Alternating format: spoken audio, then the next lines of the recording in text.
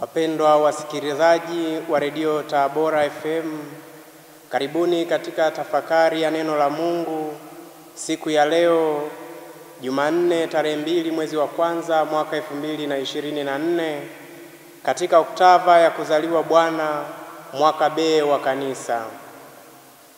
Mama Kanisa anaadhimisha kumbukumbu ya watakatifu Basili Mkuu na Gregori na Nzienzi, maaskofu na walimu wa Kanisa.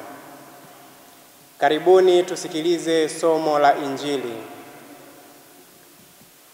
Somo katika Injili ilivyoandikwa na Yohane sura ya kwanza aya ya kumi na tisa hadi ya ishirini na nane. Na huu ndio ushuhuda wake Yohane. Wayahudi walipotuma wake kwake makuhani na Walawi kutoka Yerusalemu ili wamuulize, wewe u nani? Naye alikiri wala hakukana. Alikiri akawaambia, mimi siye Kristo. Wakamuuliza, ni nini basi? U Eliya wewe? Akasema, mimi siye. Wewe u nabii yule? Akajibu, la. Basi wakamwambia, u nani? Tuwape majibu wale waliotupeleka. Naye wanenaje juu ya nafsi yako? Akasema, mimi ni sauti ya mtu aliaye nyikani, inyosheni njia ya Bwana, kama vile alivyonena nabii Isaya. Nao wale waliotumwa walikuwa wametoka kwa Mafarisayo. Wakamuuliza wakamwambia, mbona basi wabatiza ikiwa wewe si Kristo wala Eliya wala nabii yule? Yohane akawajibu akisema, mimi nabatiza na maji, katikati yenu amesimama yeye msiyemjua ninyi, ndiye yule ajaye nyuma yangu, ambaye mimi sistahili kuilegeza gidamu ya kiatu chake.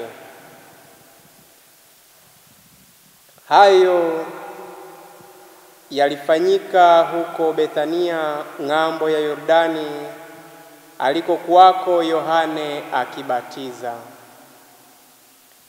Neno la Bwana. Wapendwa katika Kristo, tukiwa katika mwendelezo wa sherehe za kuzaliwa Bwana wetu Yesu Kristo, leo Mama Kanisa anatualika tutafakari juu ya mwaliko wa Yohane Mbatizaji, inyoosheni njia ya Bwana.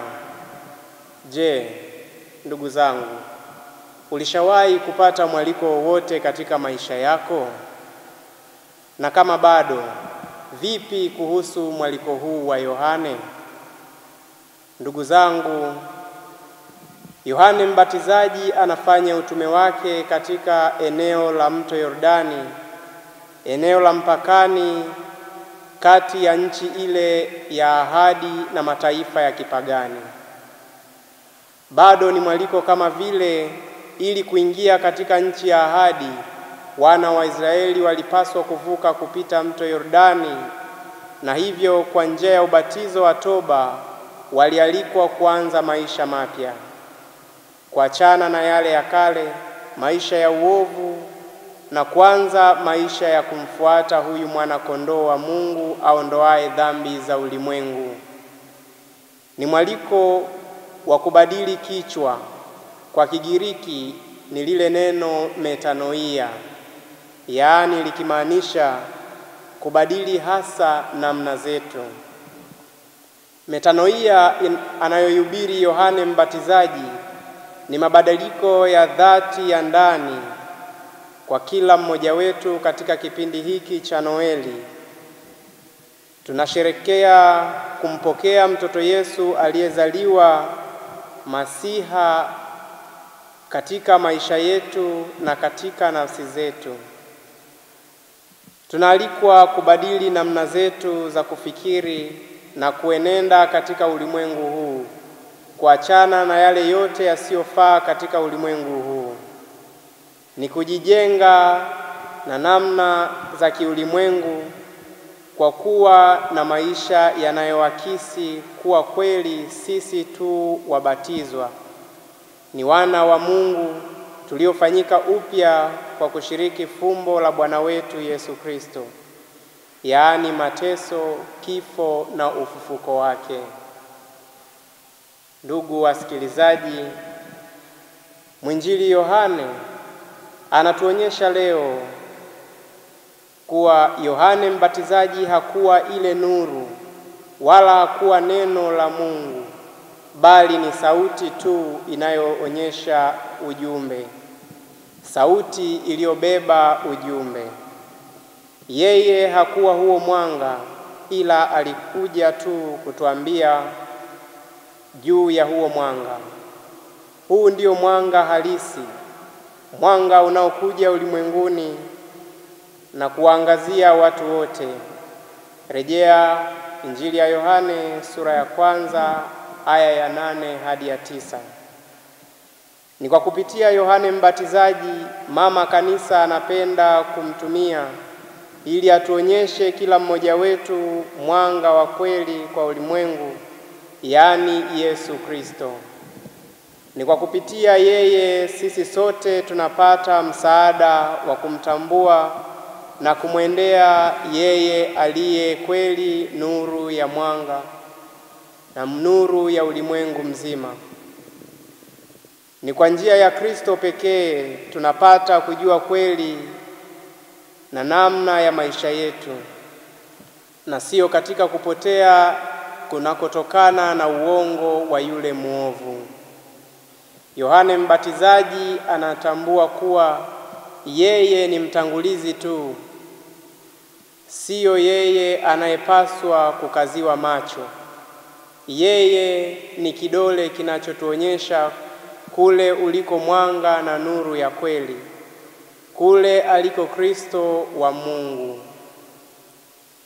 Yeye ni sauti tu, sauti inayobeba ujumbe, na hivyo ni chombo tu cha kutufikishia ujumbe, na ujumbe wenyewe ndio huu: inyoosheni njia ya Bwana.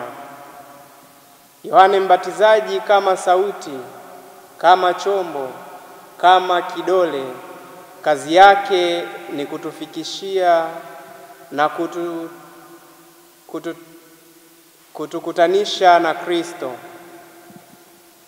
Ni fundisho hata nasi kwetu kama Yohane Mbatizaji. Utume na maisha yetu sio kujihubiri na kujitangaza sisi wenyewe, bali kuonyesha na kuwapeleka wengine kukutana na Yesu Kristo. Ni kwa njia ya mahubiri ya maneno na mifano mema ya maisha yetu wengine wanapata kukutana na Yesu Kristo. Tafakari hii imeletwa kwenu nami Frater Peter Alois Agustino kutoka Jimbo Katoliki la Kahama, ninayesoma masomo ya tayari mungu katika Seminari Kuu ya Mtakatifu Paulo Mtume Kipalapala, mwaka wa nne. Tumsifu Yesu Kristo.